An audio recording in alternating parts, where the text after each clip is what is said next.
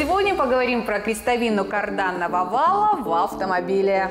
Крестовина карданного вала – это крестообразный шарнир, обеспечивающий соосность вращения передачи. Где находится крестовина карданного вала в автомобиле? В любом карданном вале, входящем в трансмиссию автомобиля, есть крестовина. Крестовина является ответственной деталью карданной передачи, которая передает вращающийся момент от коробки передач на мост во время движения автомобиля под постоянно меняющимся углом. Устройство и принцип работы крестовины карданного вала. Труба карданного вала и втулка имеют между собой жесткое крепление. Движение шарнира осуществляется при помощи игольчатых подшипников, надетых на шипы крестовины.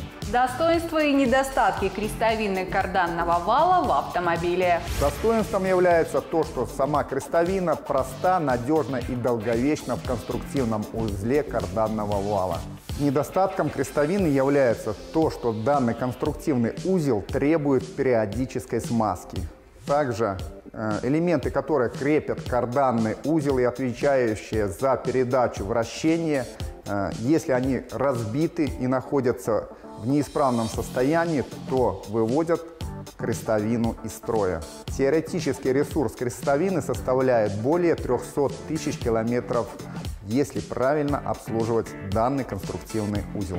Принцип работы карданной передачи. Карданная передача служит для передачи вращающегося момента между агрегатами оси валов, которые не лежат в одной прямой и могут изменять свое взаимное положение. То есть, простыми словами, карданная передача предназначена для передачи вращательного момента от коробки передач на задний мост для того, чтобы происходило вращение колес.